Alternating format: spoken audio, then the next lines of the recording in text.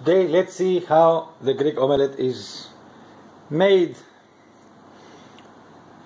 First of all we need eggs, Greek feta cheese, onions and tomato and some corn oil. You can also put some olives if you want to. That's all we need. Let's start.